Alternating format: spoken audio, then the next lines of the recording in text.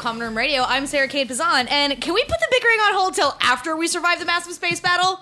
I'm Alistair Stevens, and one minute you think someone has a weird shaped head, the next minute you realize part of that head is a hat. That's why you don't like hats? I am Groot. What did he say? he said, I'm Vinton Bang. Oh! Welcome to Excelsior, a superpowered podcast.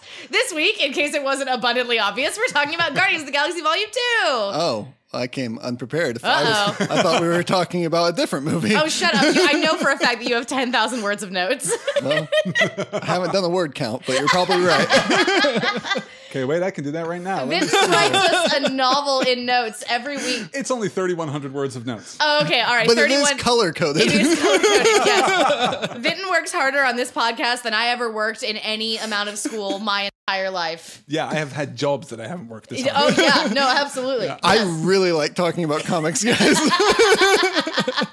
So let's talk a little about Guardians Volume 2. We should probably, I guess, talk first about Guardians Volume 1. Yeah. Do we love it? Do we hate it? Is it our kind of movie? I really enjoy Guardians of the Galaxy Volume 1 and 2. Uh, I think that they're a lot of fun. I feel like they don't require a whole lot of brain power, and I can really just like sort of check out of reality even more so than with just your regular run of the mill MCU film and just let things happen to me visually and auditorially. yes. Yes. so you were a fan of Guardians 1? Yes, absolutely. Yeah. Excellent. Then- mm-hmm. I was definitely a fan. I was really anticipating it when they got announced because I had been following this team of Guardians since they first appeared in the comics as a team, not Yeah. in their solos, because that's way further back than I existed. But as a team, I'd been following it and I loved the stories that came out of what they were doing with that. And so when they announced it, I was like, I'm so here for this. Mm-hmm. And knowing them from the comics, I could never have expected the movie to have gone the way it did. Yeah. But I'm so pleased with it. Like, Yeah. it, it's changed the team in such a way to make it even more pleasing to me. It was like, oh well, Vinton's gonna love this team, but we can make him love it more. Yeah. Mhm. and so they just made it to delight me. Yeah, Rocket Raccoon might actually be my favorite character in the entirety of the MCU. Even it's just that I don't get to scream about him quite as much as I get to scream about the Scarlet Witch. Yeah. But uh, yeah, no, Rocket Raccoon. I am Rocket Raccoon. I am Rocket Raccoon. He's toned down a little bit for the movies. Uh, one of my favorite quotes of his that he would say randomly while shooting and killing people was "blam murdered," and he would just shoot guns and kill people left and right in the comics. So it's toned down just a little. using that. Blam murdered. I'm gonna get that tattooed somewhere on my body. I really like the first Guardians too. I, Guardians was one of those movies that the more I thought about it, the less I liked it. It became like more problematic the more I thought about it because there are some Mm-hmm. Real issues about you know representation in that movie and in the way that we both motivate female characters and use female characters to motivate the male characters. It's Mm-hmm. not that good. But then I watched the movie again. I was reminded, oh no, this is just really fun. Mm-hmm. Yeah. It's so just much fun. Yes. so energetic, Yeah. Mm-hmm. so exuberant, so genuinely funny. The soundtrack in the first volume, at least, is is just fantastic. yes. Yeah. Absolutely. So I, I I listened to it over and over again after it Yeah, came no, me too, me too. So I was really excited for Guardians 2. I was, as people who listened to the uh, minisode that we did on the Thor Ragnarok trailer will remember. I was a little concerned about Guardians 2 because I was fearful that it was going to be more of the same, that it was basically going to be a retread of the first movie. Yes. It super wasn't that. It totally wasn't that. It Yeah. 100% wasn't that. Yeah. And I'm really thrilled that we took these characters in so many different directions. Mm-hmm. I could see people saying that it was that, but I really think what it did was take everything that you loved about the first movie and then amplified it and did it in new ways to make you love it more. So it wasn't like just doing it again. It was Yeah. finding new ways to do those same things that you love and making you love them more. Oh, and for sure. Mm-hmm. Exploring new character dynamics. I mean, the Guardians as a team are basically apart from most of the action of the movie. We're Yes. getting these individual stories instead, which works really well for me, particularly, of course, because most of, if not all of the sub stories are about family. Yeah. About real family, about found family, about bonds of loyalty, all of that stuff. I love how we even explore that with with Yondu and, and his storyline. It just really, really worked for me. So I am, and that is not to say that it isn't, again, a little problematic in its use of female characters. We're still Yep. not quite there. I think it's better than the first movie in that regard. Mm-hmm. But yeah, there are still some problems that we'll get into as we'll break it down. So, Vinton, you've read a lot of Guardians comics. Yeah. I've never read a Guardians comic in my life. I'm not terribly into Marvel Cosmic. It's never been like the area. I haven't been that- either historically. yeah. So this is really Guardians is what got me there, and I was going to bring it up a little bit later in my notes, but I'll, I'll just jump ahead now. If you want to read Guardians, start with Annihilation Conquest. It was a uh, event that Marvel did in 2006, seven or eight, somewhere in there. It lasted kind of long, but the Guardians were formed in that, and then had their first uh, title with this team launching out of that, continuing out of that. Okay. It, it start it launched that the Guardians team, and it launched the Nova title at that mm-hmm. time, and, and it kept telling that story for mm-hmm. the next couple of years, I mm-hmm. think. Well, this Guardians team. Yes, was this forged in Guardians Annihilation team. Conquest. I but- will talk about Yes. the old Guardians team when we get to one of our end credit scenes that Yeah. actually shows them. There's so much in this movie that speaks to the history of Marvel Cosmic. There There's really so is. much Jack Kirby in this movie, which Yeah. is amazing. Yeah. And most of it is recontextualized. I mean, I could never have expected going in that we would get Ego the Living Planet and Celestials kind of No. slammed into each other. and Ego wasn't even owned by Marvel for the for cinematic purposes. Mm-hmm. They had to make a Really? deal because James Gunn wanted Ego to be Star Lord's father because he's not in the comics, and I'll talk mm-hmm. about that a little bit later as well. But he wanted to be his father in the film, and they didn't have the rights, so Marvel had to deal with Fox to get it because he mm-hmm. was So part of the does Fox Fantastic own Four. the rights to? yeah, Fantastic Four. because of the Fantastic Four. Fantastic Four came with a lot Oh. of the oh. cosmic stuff Oh, because they I dealt so much with that and the Silver Surfer and Galactus and all this. sure. Okay. So they owned it, but they were able to make a deal because Fox wanted to have free reign, creative reign over Negasonic Teenage Warhead and Deadpool. Mm-hmm. So they were able to change that character and do what they wanted with her power set wise and mm-hmm. personality wise by giving ego to Marvel. And they're Okay. like, we're not going to use ego. Well, yeah, How could you no. possibly do that? You guys, you guys can take ego and Good fail with your movie. I just want to think for a second about that meeting because that was some boardroom in New York City where 20 high priced lawyers sat down and said, no, no, no. We need ego. We'll give you Negasonic Teenage Warhead. Is that is that cool? Can we do that? Like someone went to law school for like 15 years to be able to say that sentence. Yeah. Someone billed at five hundred dollars an hour Yes. to say What- Negasonic What's Teenage so Warhead. weird about it too is that they own Negasonic Teenage Warhead. Fox does Yeah. for Mm-hmm. cinematic purposes. They just can't make changes to her under Mm-hmm. the agreement from Marvel. So they would have had to show her just like in the comics. And but they were like, we don't want that. We want to just use the name Yeah. and make her someone else. I'm like, why? Why? Why is this a good deal? Do you just pick a different character or a different Make name? up your own ex person. I guess they just didn't care about ego that much. Wow. I yeah. think that well, neither of these characters, let's face it, is a particularly high profile six Yeah. and six character. I never, ever, like you said, thought I would see a live action ego. Well, and I thought that it worked really well. I mean, uh, yeah, Yeah. yeah.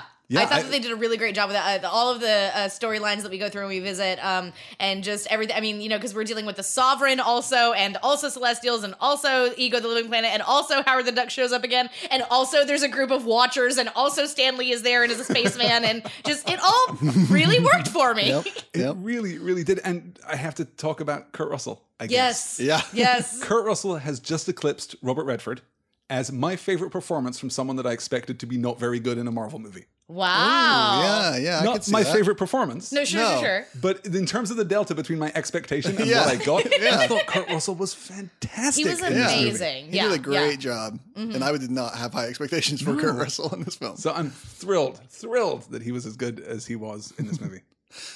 So, some random facts before we start diving through the story. One of the things that I found out when reading about this that I really enjoyed is that Chris Pratt, Chris Pratt had said that reading th- through this script actually helped him come to terms with the death of his own father. Oh, And I think that wow. really speaks to something this movie can do in, in- in talking about found family and talking about loss and talking about the way that found family works in general i think it can be uh, therapeutic in, in a certain way Mm-hmm. to see these type of stories being played out where you have such hurt and such loss and such uh, found family i Yeah. can't think of another way to say it i guess but it- it's it's really great in that and i'm really uh, glad to hear that it did have an, it did have an effect on even the actors that played Yeah. those roles Yeah. that's really fantastic.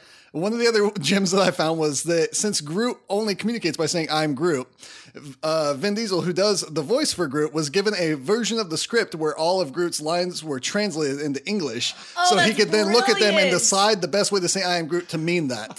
That's amazing. I love that. It's it's so great. I don't know if it's true of Guardians Volume 2, but I remember reading that for Guardians Volume 1, Vin Diesel actually recorded all of the international versions. Yeah. Of Yeah. I Am Groot. He would just translate that. I, I love that. I hope that that's true of Volume 2 Mm-hmm. as Yeah, me too. That'd be great. Did Baby Groot work for you guys?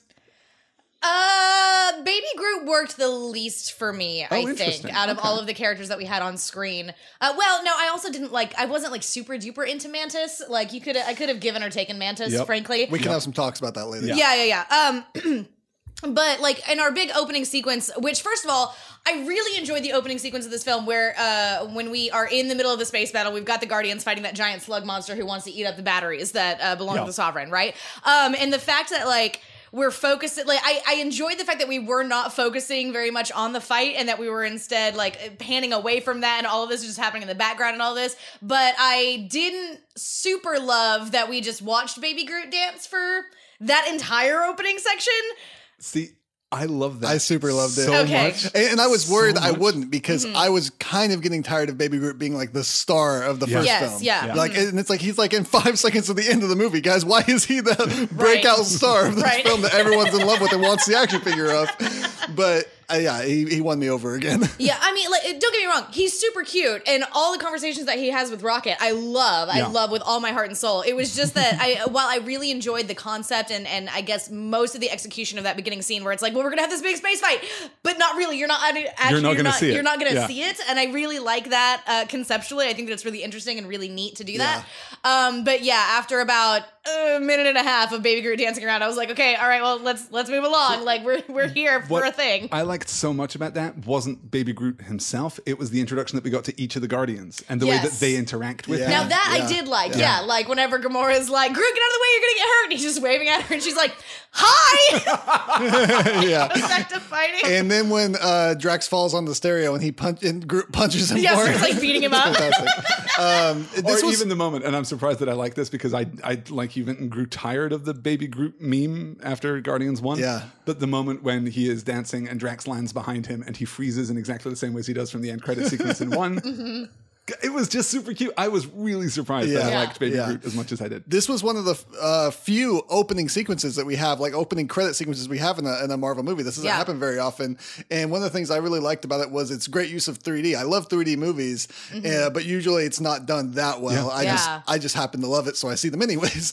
But here, I think it was done really well in this opening scene. They really made good use of the depth with showing Groot and the, and the things in the background. And it Yeah, was really yeah. well done with the 3D there. yeah, that was pretty good. Yeah, I think Guardians is better served by 3D than maybe any of the other Marvel movies. Basically, 'cause we're yeah. not striving toward any kind of naturalism. Yes. We're not Right, trying exactly. to Yeah, depict things that that is we the thing with 3D. Yeah, and you can definitely, I mean, because we are literally in space, you can actually like make use of the 3D where it's like, no, here's this thing in the foreground, and then Yeah. everything way back there, like you actually are giving this illusion of depth, Yeah. which is, I mean, like you just said, far more impressive than in, I don't know, Civil War, Winter Soldier, take your pick. Yeah, it's just not as good in those. Yeah.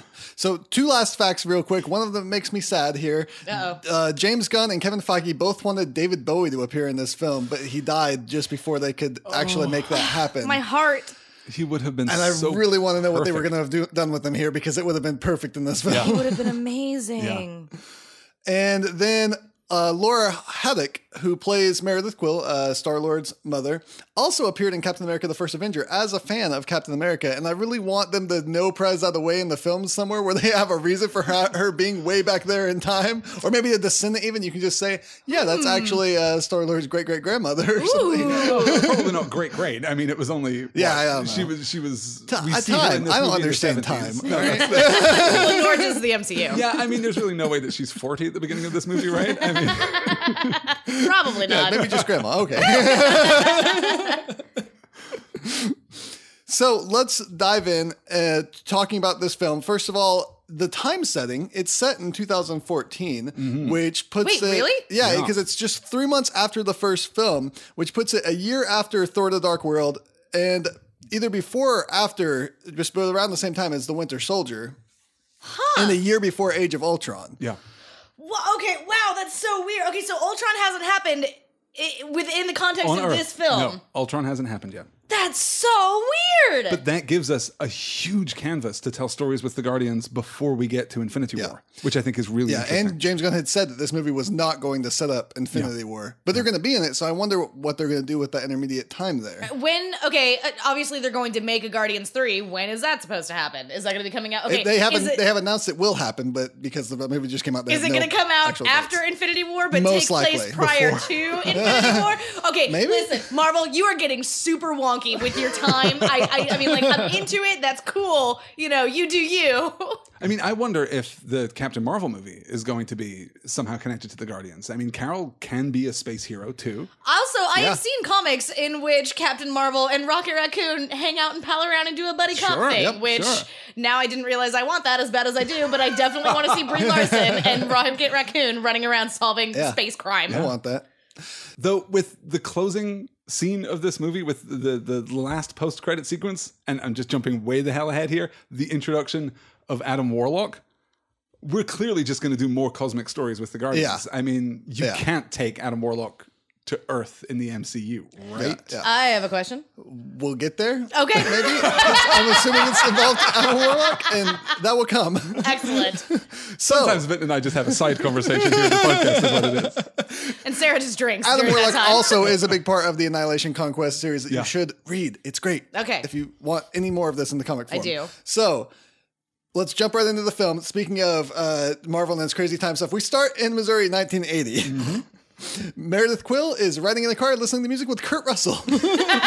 Although he's not Kurt Russell. But With the yeah. most amazing 80s hair I think I've ever Yeah. seen in my life. That same weird digital de aging that they did with Robert Downey Jr., right? But I think mm-hmm. they did it better here than they have ever before. Way better. And I think it was mostly due to camera tricks. They put aviators on him and shot him from weird angles at the Yeah. sides and from behind a lot because they didn't want to show too much. Right. Okay, I- that makes it worked sense. very it well. worked. Yeah, Yeah, it didn't yeah. throw me out of the movie the way that de-aged Robert Downey Jr. threw me Well, out. that's of the the, yeah, like that was just the weirdest uncanny valley moment ever. It's like, what, what are we doing? Yeah. But Kurt Russell is playing who Meredith Quill calls her spaceman. Mm. They go behind a Dairy Queen, and in the woods, the spaceman shows her a small alien plant and tells her that eventually they will be all over the place. And he then kisses her, and we zoom 34 years into the future. I really like this. I really like it because it is completely essential to the plot. This is, in a sense, the inciting incident for Ego's plan for Mm-hmm. his for his plot. Uh, it works really well. It's incredibly charming. Yeah. One of the weird things about the 3D in this movie is that when we are on Earth, everything looks slightly tilt shifted, so that everything looks like a toy from a distance. Mm-hmm. Yeah. Everything seems as though you know when you're getting that that beautiful tracking shot of the car coming through the Missouri Yeah. countryside right up front. It feels like that car is you know a Hot Wheels car. Mm-hmm. Yes. until we get really really close to it. But I thought that it really worked, and of course we're immediately introduced to the soundtrack. What do you guys think of the Guardians Volume Two soundtrack compared to the first movie? I would say not as iconic, but just as enjoyable. That's exactly where I am with it too. It doesn't have the big hits Mm-hmm. that you think of from from Guardians Volume One, but because they've kind of stepped back from that, Mm-hmm. it doesn't feel so much like a jukebox musical. It feels more like Yes. a soundtrack that's been put together for this movie. Yes. Yeah, uh, I think that I agree with that as well. Um, yeah, I certainly knew more of the songs that were in the first film than Sure. versus like the songs that were in this one. But yeah, they, it did seem that uh, they were a little more purposeful in their music choices, like Mm-hmm. from scene to scene. Yeah. I also really like that a lot of the music from the soundtrack here is used practically in fiction in the film, that Yeah. it's playing from a stereo or something. And I really appreciate when movies do that. Mm-hmm. Yeah. It really gets my heart. Yeah, that use of yeah diegetic sound. I particularly like when uh, Rocket and Yondu are Yeah. looking for copies of Quill's music. they know that they need a soundtrack to kick in. yep. They've grown accustomed to Star Lord has, has, has left his print on them. Yeah. so 34 years later, here in the great future of the year 2014, Which was Three years ago, shit, guys. The Guardians of the Galaxy, we have Star Lord, Gamora, Drax, Rocket Raccoon, and Baby Groot are on the job to secure these batteries for these people called the Sovereigns. Um, and an obelisk descends. This is a creature that looks like a creature from the comics that's called uh, the many angled ones from a place called the Cancerverse, which is another big thing with the annihilation that happens uh, as- in those comics. So check it out. But basically, Cthulhu monsters. Basically. Lots of mouth, lots of tentacles, lots of teeth. the Guardians attack and Groot dances to Mr. Blue Sky, playing practically in the film on that little stereo that he tries to plug in at the beginning. Uh, Drax falls on the speaker. Groot fights him for it. Drax thinks that the creature's skin is too thick and jumps into its mouth to attack it from the inside. And I really like that that's a thing that happens in movies. I feel like Yeah. that has been brought up in fiction very often. And Star Lord Sure. points out, that doesn't make any sense. the skin's just as thick on the inside as it is the outside. Yes, yes, yes. And if you're inside the creature, piercing its skin is not the worst thing that you can do to that creature. Right, yeah. Just start spinning in a circle, you guys. It'll be fine. But the rest of the Guardians do manage to slice open the creature, and Drax comes spilling out. This is a great introduction to the Guardians, to the way that they work together, to the visual language of the movie, the visual Mm-hmm. spectacle of the movie. Can I say how much I love the the gunshot effect? From Star Lord's blasters in Oh, this, yeah. it looks completely different than it did in the first movie, but it looks fantastic. Mm-hmm. This is like kinetic laser effects. I just love the physicality of it all. Yeah. even in this this super CGI'd space. Yeah. You guys, I have a problem with Guardians too. I don't love Drax. I don't like Drax. I got super bored anytime we did a Drax bit. And I don't think that's Dave Bautista's fault. I think he's good with the material that he's given, and clearly his physicality is, you know, impressive and super intimidating. But I kind of feel like he is the one for me that didn't move on from his characterization in the first movie. Mm-hmm. It's still he's doing the Guardians Yeah. one version of of Drax again.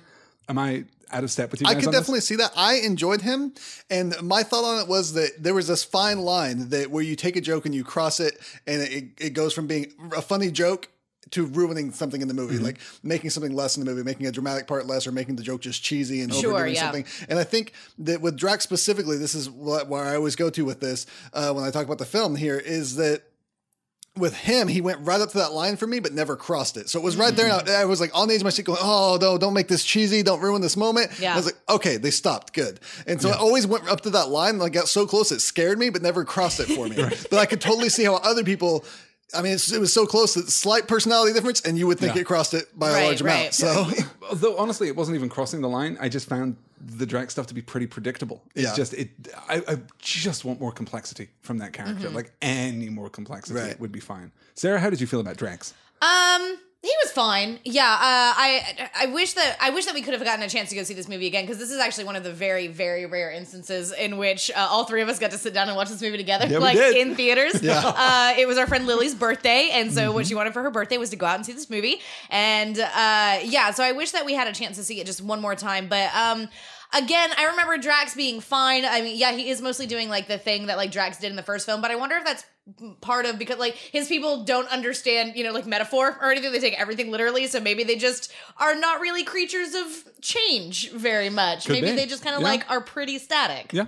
I can see that. Yeah. I, I can see the justification for the character, and clearly he was very popular. And being in the theater watching mm-hmm. this movie, hearing the laugh responses from the crowd was was really good. And When you say laugh responses from the crowd, do you actually mean the laugh responses from me because I was the loudest person in that You theater? were the loudest person in that theater, mm-hmm. which I loved. What I loved too was that there were a couple of super nerdy jokes in the movie where you were the only one laughing at that volume. I was sitting right next to Vinton, and then something would happen, and we would go, "Huh, that's clever movie. We like that." And you would shriek laughter from the end of the row. Yeah. Great. It- I love that. It it. was fantastic. I would, anytime guys. there was a good joke, I would look at both you and Alice and go, "Did they think that was as funny as I did?" Confirmation from my friends. I am terrible in movie theaters. I don't talk through movies, but I emote loudly and often to the We're go shock and of see everyone. Every Marvel movie together from now on. Okay, It's good, yeah. Have to. superhero movie. Because we should say, uh, this is to tangent completely away from Guardians Volume 2. Mm-hmm. They had the perfect curated list Yeah. of trailers right before the movie. They really Vin- did. Yeah, Yeah, they yeah, did. It was no, it was my all Directly Vin. to yes. your heart. so great. We had Thor Ragnarok, we had Yep. Spider-Man Homecoming, Yep. we had The Last Jedi, and then what was the oh the Pirates of the yeah, they ruined it. They just went They right off track. Yeah. Oh, They're like, we've prepared him for this. Yes. Here's this awful one. You're going to hate it. Yeah. Wonder Woman looks amazing. Yeah, I am Wonder still Woman. more excited for that movie than I ever Yeah. have been. It comes out next month, right? Yeah, month? yeah, Yep. like three weeks from now or Oh something. my gosh. Spider-Man: Homecoming looks incredible. Yes. The new trailer looks Yeah. very, very good. Yes, I'm yes, into yes, that yes, very yes, much. yes. Star Wars: The Last Jedi, of course, not strictly speaking a superhero movie, but I'm, I'm sorry, yeah, they yeah. use Oh, you superpowers. guys. it's a superpowered film. Sure. Yeah. a lot of that film's uh, extended universes in comic books. It counts. There you go. Nailed it. I'll take it. It's we'll our definitely show. cover We that can on do what we want. Yeah. we probably won't be talking about the new Pirates of the Caribbean movie, you guys. If we do, it's because someone gave us a lot of money to Yeah. specifically Oh, yeah, if you give me enough thing. money, I'll do that. Give us enough money. Patreon.com slash Common Room Radio. And we will talk about the would take, Pirates of the Caribbean yeah. movie. Yeah. Maybe So, not well about it. Back to the movie.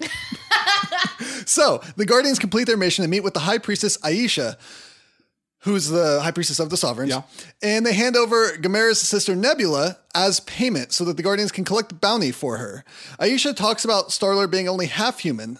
And we get our hint for what this movie is going to be about here. Mm-hmm. Mm-hmm. We find out that Rocket stole some of these batteries they were supposed to be protecting, and a fleet of sovereign drones come after the group as they depart. Star Lord and Rocket fight over who's the better pilot and almost wreck the ship doing so, trying to get to a wormhole to escape. The attacking fleet is all destroyed by a man riding on the ship and waving at them. the Guardians crash land on the near planet. Yes. It's a really great sequence. It's a yeah, very, the, very good sequence. the sequence. moment when Kurt Russell comes riding by on the ship, is, I was just like, wait, did Douglas Adams write this movie? What just happened? That was very Hitchhikers in the Galaxy. can, can we can, can we rewind a little bit to talk about the sovereign? yes, Yes. yes. Good lord.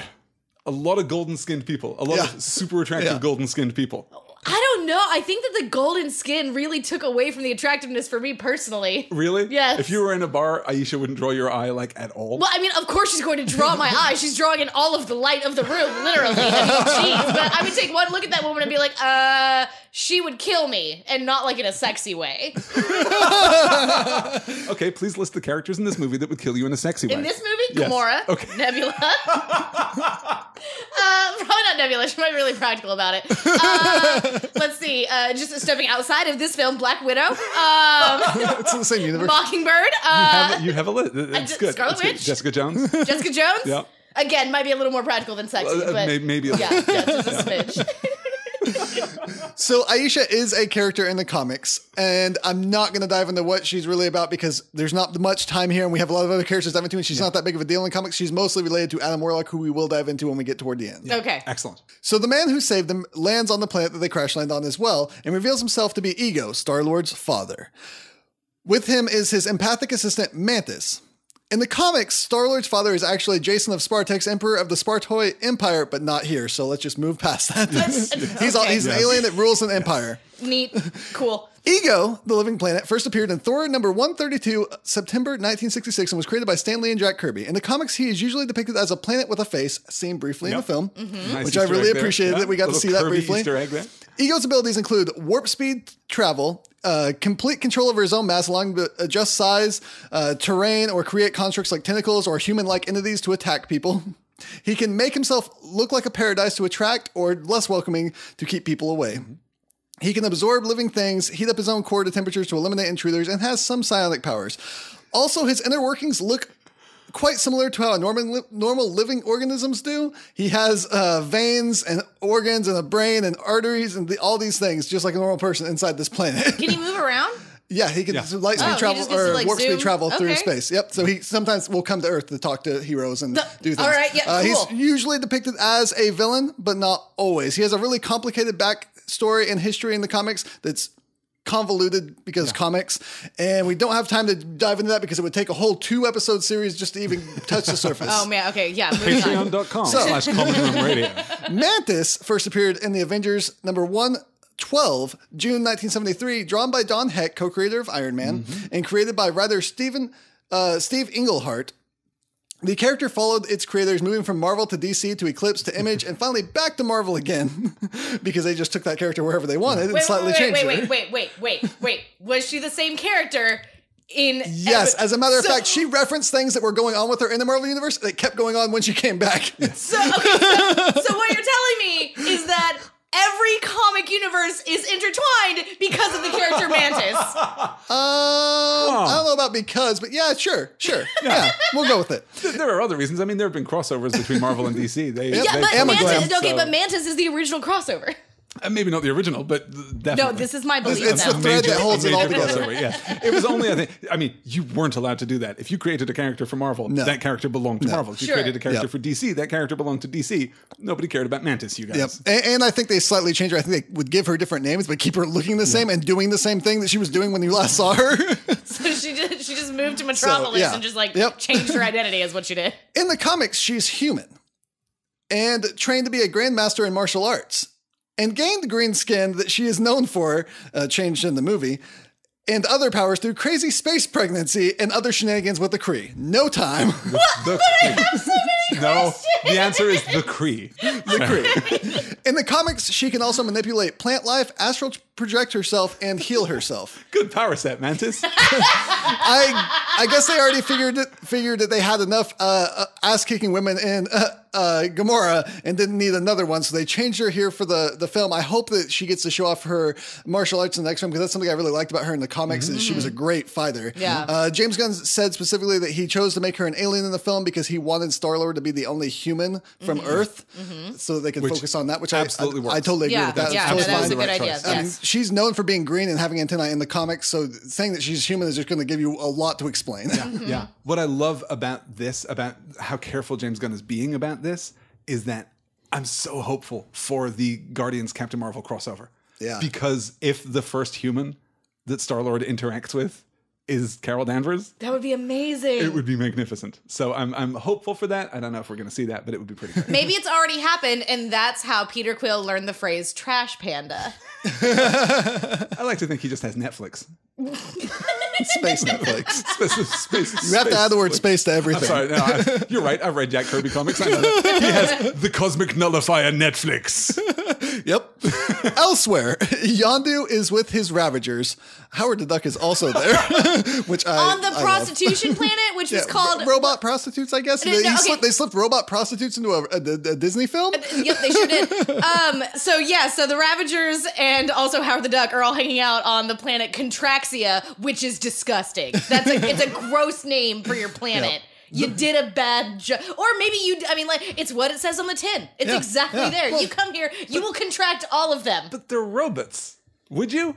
And how often are the robots cleaned? That's an excellent question. I would hope that these robots had some kind of self-cleaning mechanism. In their defense, the planet Contraxia is taken from the 616 universe. It actually has nothing to do with robot Yes. prostitutes. It's just a really minor name. I think that James Gunn just found it Yep. in a database somewhere and wanted to use it because it sounded dirty. it's like, hey, he looked at it. He went, I have an "Ah." idea for this planet. Yep.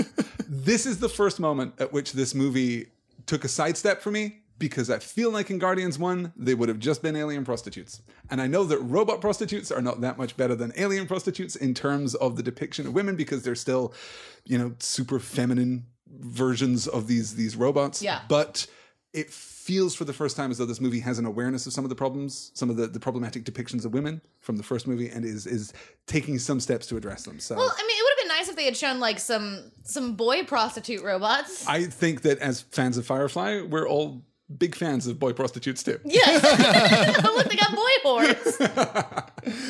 So Yondu sees Stakar Ogord, played by Sylvester Stallone. Yes! This Space is Rocky. Another character along with Yondu from the original Guardians of the Galaxy that were created in 1960s. We'll get to that again when I get to that end credit scene. But yeah, how did Sylvester Stallone get work for you? Did you you guys? guys know that he was in this movie? I did. I don't think I I didn't did. know what role he was going to be playing, but I knew he was going to be in it. I had no idea that he was in this movie. It was such a surprise. I was I was surprised in part by how glad I was to see Sylvester Stallone on a movie screen again. It felt really good. Super reminded me of Judge Dredd, but apart Yeah, from that, yeah. I thought he was great and a really welcome addition. Yeah. Well, and uh, Michael Rooker and Sylvester Stallone get to rehash their friendship from the movie Cliffhanger that they were in together back in 1993. okay. How much do you love Michael Rooker in this movie? I A lot. love Michael A lot, a Rooker lot. In much a general, lot. but a lot in this movie. Yeah. Yeah. I always find him to be a watchable actor, always an engaging actor. Yeah. I Mm-hmm. really like him. He seems like a perfect match Yeah. for, for the Guardians. I'm so glad that he became more of a central character in this film. I did not know how that was going to play out when I heard that was happening and Yeah. was worried. And when I saw it, I was like, I'm really glad that Yeah. came out that way. Yes. Yeah. Me too. Mm-hmm. Apparently, Stakar had exiled Yondu from the Ravager team for um, child trafficking. Mm-hmm. Which he did with Star Lord and possibly some others. Yeah. One of Yondu's team, Taserface, questions Yondu's leadership with Kraglin. That's the Sean Gunn character Yes. from the last movie, played by James Gunn's brother, Mm-hmm. also of Gilmore Girls fame. Kirk from Gilmore Girls. yes. I like to think they're just the same character. It's fine. So Yondu kidnaps Kirk from Stars Hollow. we should say too that Sean Gunn also plays Rocket Raccoon because when Yes, they're the shooting, he is the rocket stand-in Yep. physically. oh, that's awesome. Did you know? Is he for the second film? I knew he was for the first I- one. yeah, That's yeah, yeah. awesome. For the second film too. I, I did uh, also learn that they made a life-size puppet of Groot to have as a stand-in when they were filming things. Since it was just baby Groot, they figured they could do that and just had the puppet and the guy Oh, that made that's it like run around with it. I guess. So Stakar shames Yondu and leaves. Then the Sovereigns arrive, and Ayesha has a job for Yondu. This is our introduction to basically our primary subplot in the movie, which is Yondu's story, and is immediately rooted in these ideas of family, of, of mm-hmm. loyalty. This this crew that he has assembled, this kind of family within the context of a larger family, which works really beautifully to see Yeah. him exiled and, and to get that great line from Stallone. You might think that I take pleasure in exiling you. You broke our hearts. Yeah. That this is immediately emotionally connected for trafficking in children, you mm-hmm. guys. Yeah. Yondu is not a good guy Yeah. But it works just beautifully for me. And then the introduction of of Ayesha and her her uh, Rolling out Her the red court, carpet across the snow. Yeah, that was one of the jokes that lasted a little too long for me. Like as soon as they started rolling that out, I immediately was like, I know where this joke is going. this is the next minute of my life. This is the next. It's fine. this is That was another one of minute those things that half. also felt very Douglas Adams to me. yeah, Yeah. no, very. You're right. And I also have some comic backstory on Taserface, but I'll get to that when Rocket makes fun of him later. Back with Ego, he explains to Star Lord that he sent Yondu to pick Star Lord up after his mother had died. He invites Star Lord and his group to his planet. Star Lord is hesitant until Gamora convinces him to go. Star Lord, Gamora, and Drax go. Rocket and Groot stay behind to fix the ship and keep an eye on Nebula. And the way that Rocket fixes the ship is just basically grabs a giant can of spray paint and is like, Yeah, that's it's just like how a, you fix the a ship. spray 3D printer. Yeah, yeah. I thought that was awesome. I thought it was great. Yeah. Why would you take Drax with you? I don't know. If Nebula gets loose, what are Rocket and Groot going to Is do? it Rocket? Okay, I, Rocket maybe. Yeah, I was What gonna say, be Groot fair. gonna? Baby Groot is absolutely go- which I mean he does, but Baby Groot is going to accidentally release Nebula. So yeah, it was a it was a it was a dumb choice. Yeah, To be fair, he doesn't and Peter can take care of themselves. They I don't they need can. Drax. You're right. Yes. On Ego's ship, Mantis shows off her powers, revealing Star Lord's feelings for Gamora. Mm-hmm. And that scene that we've saw a million times in the trailer. That's the one. Yep. It's it's exactly that scene. It plays out exactly as you know that it will. Yes, it's Then funny we- the first time. Yeah, yes, exactly. then we cut back to the crash site, and many Ravagers start depend- descending upon the crash site. And Rocket makes quick work of all of them, showing his prowess in I traps and weapons. this scene. I Really good. loved So good. Yeah, I Yeah. really, really loved seeing like how capable Rocket is. It, Yeah. it filled me with joy. Yeah, I 'cause was so you happy. see, like he set traps, and you're like, yeah, of course he set traps, but he's still down on the ship working. But then you quickly realize that's a recording. He's in the trees, stealthily waiting. He knew this was coming. It's like, oh, Rocket, you're a genius. This Yes, is so great. yes. It's really really good. And the inventiveness of the traps too. That anti gravity Yeah. trap that he has. he just slams them back at the ground over and over like in Car Boys. That's exactly like that was exactly the reference I thought. If you had been sitting closer to me, I would have nudged you and said, "Rocket, this changes everything." and I would have yelled, Nick!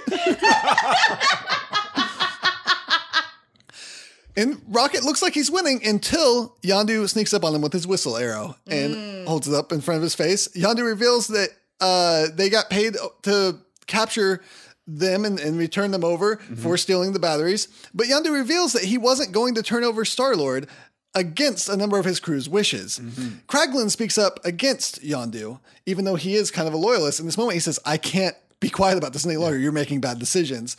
And then Nebula breaks Yondu's Mohawk fin piece and knocks him out, siding with the rebelling Ravagers and taking Groot and Rocket into custody on their ship.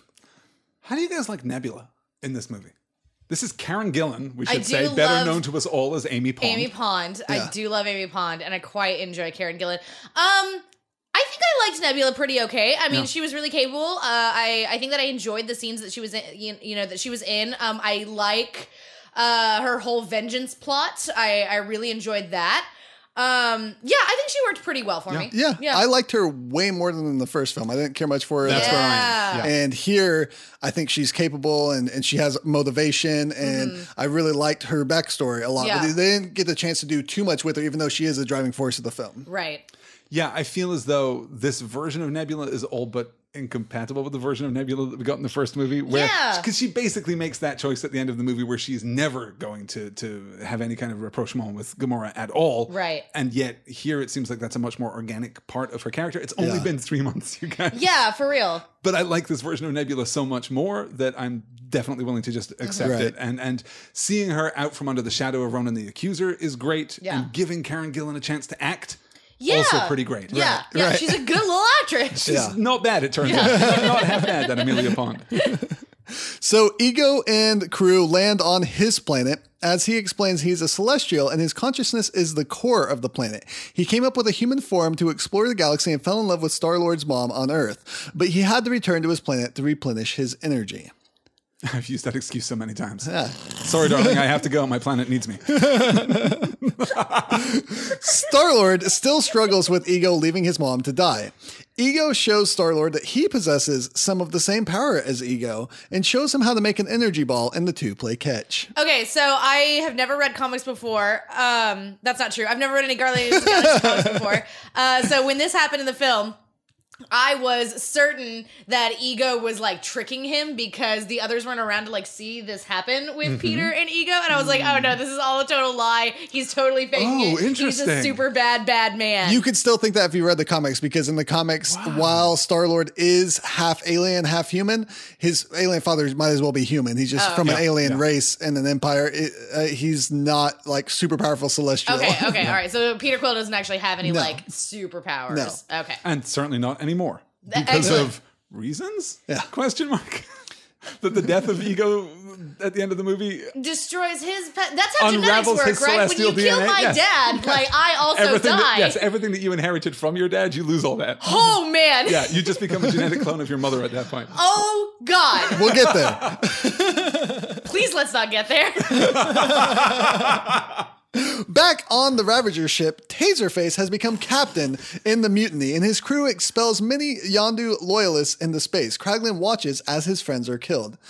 In the comics, Taserface came from a planet inhabited by primitive beings. One day, a cache of armor and technology created by Tony Stark wound up on their planet. The inhabitants quickly adapted themselves to the new technology, calling themselves the Stark after their idol, and proceeded to misuse their newfound gift to conquer other planets. This is where Taserface comes from in the comics. I have the- never read that story. I kind of want to read that They story. are It's the the, Stark. exact opposite of Wanda and Pietro's story in Age of Ultron.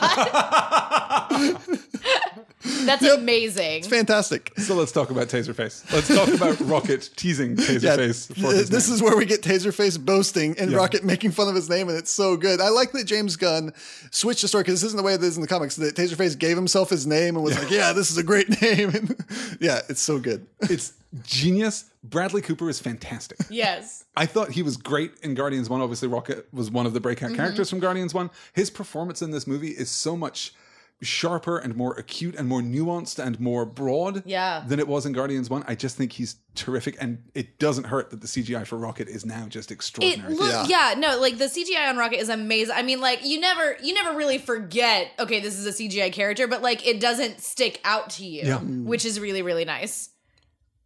Yeah, I love this whole sequence. I love any any time that Rocket gets to be a little bit of a jackass, I'm in. I Yeah. love it. And he's saying what we're all thinking. What kind of name is Taserface? but this type of antagonizing would lead Taserface to kill Rocket, except Nebula steps in and stops Taserface from killing both Yondu and Rocket, suggesting that they turn them in for their bounties and collect the money instead. And she demands a new hand and a ship so that she can go find Gamora. And we get that really funny scene with uh Kraglin trying to show her the new ship, and she's like, "What are you gonna do with your money?" And she's like, "I'm gonna go kill my father." He's like, "I thought you'd get a pretty necklace or something." okay. Which is sexist, first of all, Kraglin. Don't be sexist. Are you gonna look at a blue cybernetic chick and be like, "Oh, I thought you were gonna get a pretty No, no, no, necklace"? I'm going to hesitate for a second and say I love Sean Gunn in this movie. Yeah. What you said earlier about Drax, that he keeps going up to that line Yeah. but never crosses it, that is exactly how I feel about Oh, Kraglin. okay, yeah. Yeah. I see that constantly too. feel that. Yeah. I stop and then they stop. And it's really good. I, I just Yeah. yeah. And, and honestly, seeing him interact with with Nebula. is I- Like, I- I enjoyed seeing him interact with Nebula, but yeah, I mean, just the, I mean, like, it would have worked better for me if she'd have been like, I'm gonna go and kill my father, blah, blah, blah. And he just goes, okay, cool. And like, it just, well, bye. I- I good do- I do like off. backs away. Yeah, that would have worked so much more for me than this, oh, I thought you were gonna get jewelry. I do Yeah. like the, the joke there because he is coming from uh, basically a pirate ship of uneducated people, and he knows That's nothing true, about yeah. feminism. Or like, he has a certain vision of like what women are, and that's not at all the truth because he's been traveling yeah, on a pirate ship with with uh, gross uneducated men for most of his life. Yeah. I think it's completely defensible in the context for exactly that reason, but hey, it's another nod to Guardians and it's somewhat Yeah. less than progressive Yeah. politics. Yeah, yeah. yeah. Because We're- you can, like, I mean, you can still do the joke. Like I said, like you, the, the way that you fix that joke is you just have Kraglin just go, good luck, and then just walk off. You can have Kraglin make exactly the same joke, except not make the subject of the joke gendered in any way. Yeah. I thought you might Yeah, buy yeah. new boots. I thought you might buy a new gun, even. Yeah. You Yeah, don't that's have to true, make it- that's you don't have to true, make yeah. it Yeah, this yeah, yeah. uniquely feminine thing Yeah. for for uh, for Nebula. We're about to get to the scene where Mantis and Drax begin to form their friendship.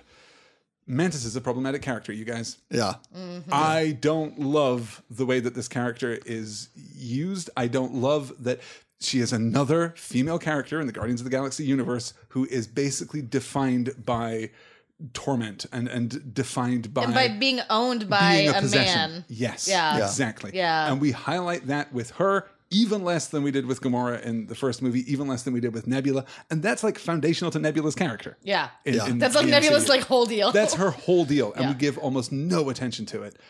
I didn't like Mantis. She made me. Uh, it- that's not fair. I actually really liked Mantis Yeah. at certain points, but she made me super uncomfortable. Yeah. Yeah. And that makes it a little bit worse because Mantis is such a capable character in the comics. So for me watching it, I was like, oh, what did you do to Mantis? Why did Right, you do well, this I to mean, her? Oh, and we made her empathic because that's what women are. And she is empathic in the comics as Sure. well. But that that's all they left her. Yeah. They Right. took everything else away from her. Yeah, and I mean she's also basically just a child. Like she's Yeah. Yes. basically a little girl, and I don't like that either. I don't like. No, there are elements of manic pixie dream girl about her. There are yeah, and elements also of- yeah, it's just yeah, I. I don't know. You, you could have made her badass. You didn't need to not make her badass because listen, your film will never suffer from having more badass women. that's very true. yeah. And I will say that if anything ever got close to crossing the line for me, it was the joke that kept coming up of Drax telling her she's ugly. I and I was like, I don't. Can you stop doing that, please? And then he finally almost made up for it and said, "You're beautiful on the inside." And I kind of like that. I was like, okay, I kind of, but still, that's I- almost saying the same thing again. I appreciate that from a like, okay, you really stuck to the joke. Like Yeah. you Yeah, just yeah. You, you landed that. That's great. Yeah. Fr- From From, like, a narrative, perspective, literary- yeah, yes, craft I can respect the construction of that job. joke. Don't do that joke. Don't do it. Yeah, but I do like. I, I do really like, aside from those comments, the friendship that was being formed between Drax and Mantis, Yeah. and that they were Yeah. for there for each other, and that they did form that quick bond. And I, I do want to see more growth in that as Mm-hmm. we continue on in this film series. I, I hope that she's going to be a regular. I hope that she's going to come back for, for Guardians 3 Yeah. for whatever their involvement is in Infinity War. I think you're absolutely right that, yes, the commentary from Jax, uh, from Drax on her appearance. It felt a little like nagging, honestly. It felt a little Yeah. like he was he was being a pickup artist, like MRA guy throughout this. Right, right. Just not not loving that Yeah. at all. Yeah. Particularly because in other parts of the movie we have Drax kind of pushing back against the ridiculous kind of, of human and human adjacent perspectives on sex and relationships. Right. He's the one who tells the story. You know, he tells the story of his conception. Or, Yes. or he tells the story of how his father told the story of his conception Yeah, yeah. every winter solstice. You humans have hang-ups. Yeah. That's really good. That's a Drax that I can get behind. That's a Drax that I, I want in the movie, where he sees through the the performance and the pretense of, of human social interaction. Mm-hmm. Yeah. But this, yeah, just a little a little uncomfortable for me. Yeah. And I do see some of what they're doing because they want Drax to have this certain type of personality where he's really naive and he doesn't understand a lot of things and he just says whatever he thinks and he comes from a certain race where women are a certain way and she's not at all that way. So that's why he finds her to be unattractive. Right. But instead of going, oh, you're not my type of uh, my cup of tea. He says you're hideous, and he's just because he doesn't know any better to say any different. That's but exactly it. it. still feels uncomfortable the way they did it. Right. Yeah. And so it's just like the other thing we were talking about. These things can be explained away, but still could have been done better. Right. Yeah, and there's a, a weight of evidence against Yeah. Guardians. Much much less than Guardians One. I wasn't bothered by this movie the way that I was by Guardians One, but Right. there is still there's a streak of, of just unpleasantness right at its heart when it comes to dealing with its female characters. Mm-hmm. Yeah. So here, Mantis starts to tell Drax something very important, but Gamora interrupts them, and Mantis changes her mind. Which also isn't great because It's now also we're not just super great. really casting Gamora as the bitch. Yeah, which is unnecessary. we don't need to do that. unnecessary. Like, yeah, I, I don't know. Because this is the second beat. We didn't mention Gamora interrupting the scene that we all saw in the trailer, where uh, Oh, right. where Mantis reveals uh, Peter's feelings for Gamora. That Mm-hmm. that you know, it's just another beat here where these two women are set in opposition, the one with the other, for literally no reason. Literally whatsoever. no reason. Yeah, there's no Yeah. reason. Yeah, yeah. It's yeah. The I mean, I guess there would be people who would argue, oh, well, Gamora doesn't really trust her, just like she doesn't really trust Ego. And it's But just like, fine. well, I mean, the, uh, Gamora's the one who argued Peter into going Right. to this Exactly. planet in the first Yeah, place, yeah. and you don't get to have her take both sides of the argument when you need her to. I think it was maybe an overplaying of her seriousness because she's supposed to be this warrior woman who's focused on the goal on, all the time, and she doesn't have time for the goofing off that Drax and Star Lord and other people do. Right. But here it was played unusually uh, uneven. right. with Well, and she also character. did say hi to Baby Groot during the opening sequence. cute. because I, I, I assume she's softened up a bit. How could you not if I'll you're say living with. Baby Groot? I've watched this movie once. I might watch it again, or, or I will watch it again. And when I do, my position on some of these issues might soften. This is only how the movie struck me the first time. Right, exactly. And sometimes there is textual stuff. And that's mine might get even harder because I'm usually not much of a critic the first time through. Yeah. Yeah, no, that's usually the way that I am as well. Usually, the first time I see something, I'm like, no, it's perfect and there's zero problems whatsoever. And then later I watch it, I'm So like, maybe I shouldn't rewatch uh, because yeah, I feel the maybe same way. Yeah, no, Only ever stay watch movies It'll first. ever be Right. forever be my perfect soft angel baby. Yes. The Ravagers lock up Rocket and Yondu, but leave out Groot for their own entertainment. Which And is it's- terrible, and I terrible hate and them. sad, and I hate them. Yes, yes, not great. Rocket and Yondu share a moment. Yondu talks about how Stakar saved him from Kree slavery, and Rocket asks why Yondu kept Star Lord, and he insists it was because he was small and could fit in the places that others couldn't. Mm-hmm. Right, and we get a couple of reiterations of that through the course of the movie. We're hinting already at, at Yondu's, I don't know, human heart, at his kindness toward Peter, Yeah. which is really great. I like that a lot. Yeah, yeah, me too. The two decide to work together to break out and try to get Groot to bring Yondu his other fin. Groot brings numerous wrong items, including a mechanical eye, which fulfills Rocket's practical joke wish from the first movie, wanting the Ravager's eye that he didn't get. And finally, Kraglin comes back with Groot and the fin, apologizing to Yondu for his part in starting the mutiny. I didn't mean to do a mutiny. Pretty Killed cute. all my friends. I love this sequence. Yeah. Yeah. This is so funny. This is such a great use of Groot. Yes. Yeah. And it, it lasts forever, but is one of these sequences that just keeps getting funnier and funnier Yes. for me. Yes. Yes. Yeah, I think it's one that went right up to that line for me, too. Yeah. I was like, oh no, if they do one more, it's going to be too Yeah. much. Yeah. I know you're And I sitting there waiting. You're like, good. oh, It okay. was great. listen- no, oh, oh, And I loved okay. Kraglin here, and I loved him before when uh, they're sending the people out into space. It got really emotional for Yeah, me. yeah. Like Yeah. the look on his face, he did such great acting here. That just the emotions that he showed Mm-hmm. when this was happening, I was like, "Oh, this is so perfect." Then when he comes back and apologizes, I'm like, "Oh, I feel this. I feel this so much. This is." Fantastic. So the bigger fin here that he gets uh, actually resembles a lot more closely his character from the comics. In the comics, he has a big mohawk yeah. fin. Uh, so I, I'm really glad that they found a way to make that work and put that in there, make him look a little bit more like the comic Yeah, character, good. practically in the film. And then they escape from their cell, and Yondu proceeds to kill almost every Ravager on the ship. Yep. Mm-hmm. And th- there's a lot of killing going on here, and it's played as a joke, and I uh-huh. don't know if it works for me or not. It works for me. I'm not a fan of the rampant murder.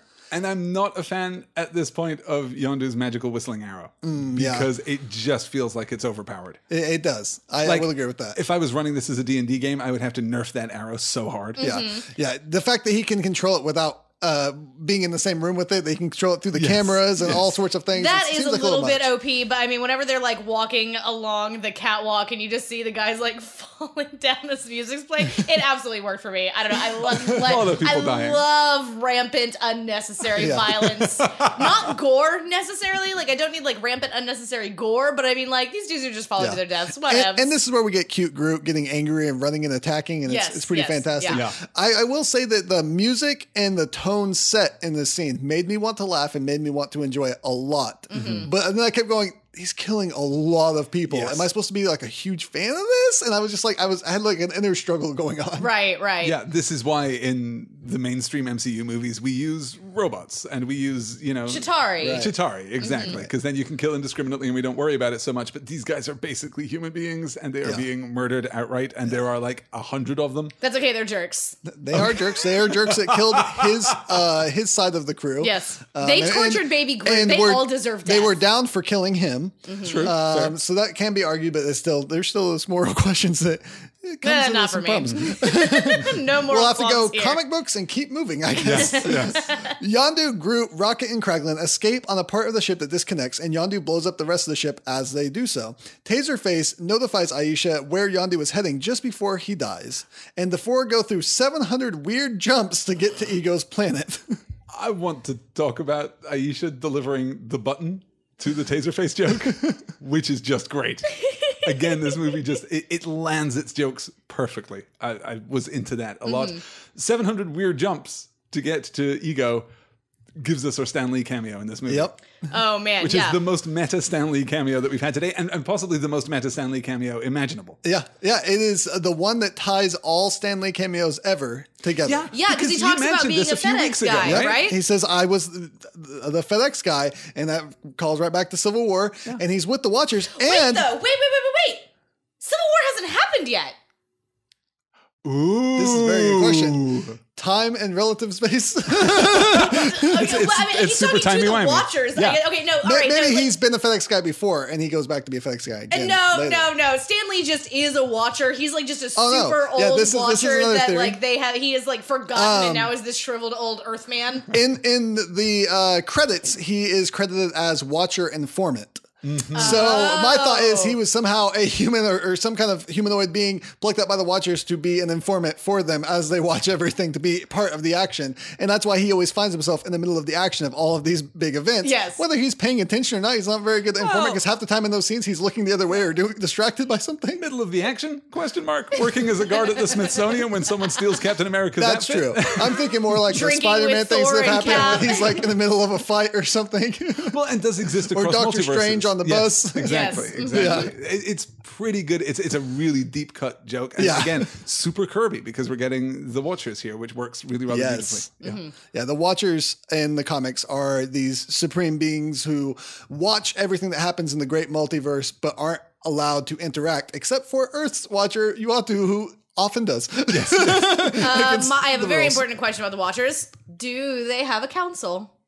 I, I think so. Good. So. Watchers councils are important. Is there one girl in all the world who they watch over? It's it's uh, Stan Lee. Stan Lee is the Slayer. Stan Lee is Done. the Slayer. All right. Good. Good.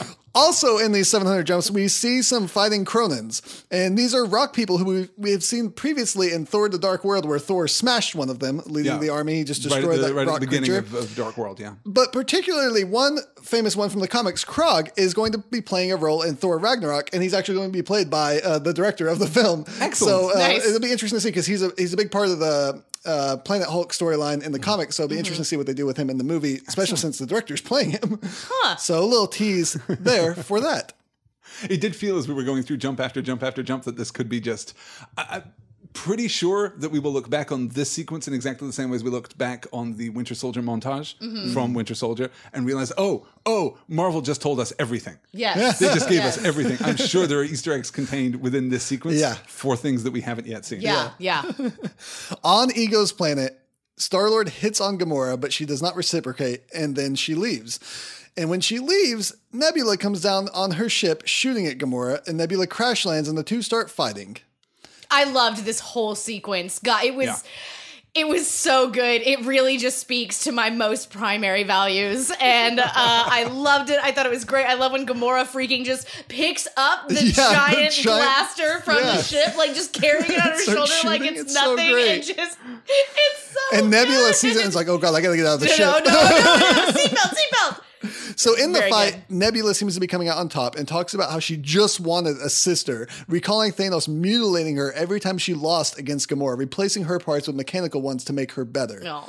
In the comics and the Infinity Gauntlet specifically, Nebula pretended to be the granddaughter of Thanos, and when he found out, he tortured her, wreaking havoc on her body, and presented her to Death, whom Thanos is in love with, in an attempt to impress her. No time, but I thought I'd throw that in there. Yeah, we should definitely read Infinity Gauntlet. Yeah, at that would some be, that point. would be We really fun. yeah, that'll be really we good. should.